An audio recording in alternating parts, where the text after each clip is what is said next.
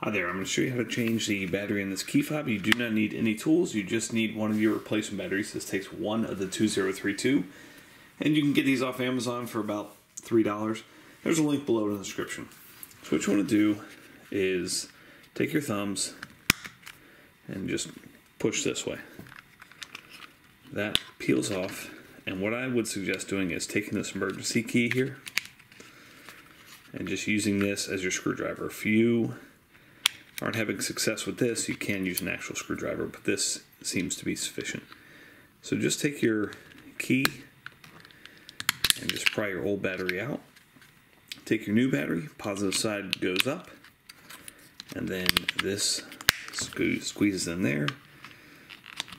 Put that there, and then this goes back just like that. Thanks so much for watching. Hope this was helpful. Make sure you hit that thumbs up button.